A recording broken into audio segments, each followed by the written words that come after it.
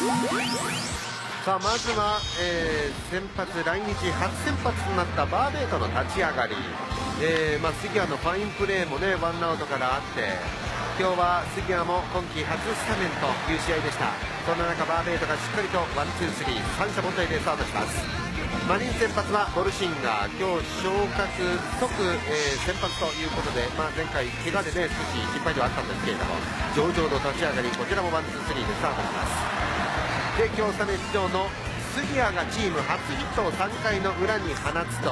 その後、えー、鶴岡が送って中島がヒットで一塁三塁として太田が2点タイムリーヒットを放ちます。これでファイターズが3回の裏に2点を先行します。援護をもらった後のバーベイトは4回もきっちりと、え、0点に抑えます。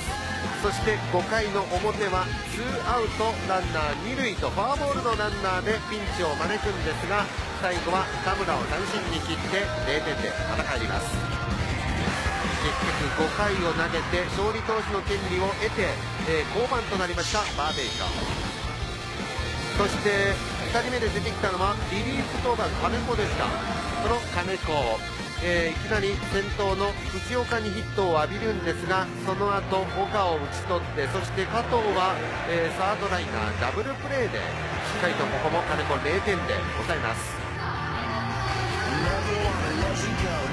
すると今度は6回の裏ファイターズワンアウトランナー1塁から西川が内野安打で出塁して太田がもう一乗りすればホームランというねセンターの選手直撃のこれがツーベースヒットになります。で送球乱れる間に西川が帰ってきて3対0と。リードが広がった6回の裏。そうなると、えー、金子に変えても勝ちパターン投入。7回は宮西。その宮西は299ホールドでこのゲーム入ります。そして見事なワンツースリー。最後は元チームメートのレアードをファーストフライに打ち取りまして、えー、これで、まあ、その後マウンド上がりませんでしたから300ホールド達成ということになりました。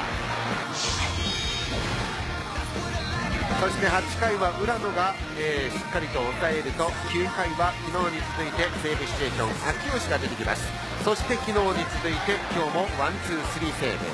しっかりと秋吉が今季2セーブ目を挙げて見事ファイターズが今季初の連勝を飾っています。継投での完封勝利ということになりました。で宮西は通算300ホールドで